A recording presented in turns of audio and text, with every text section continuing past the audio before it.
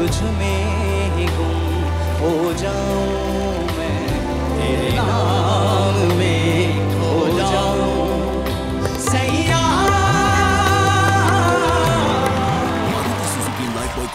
Indian Pro Music League शनिवार और रविवार रात आठ बजे जी टीवी पर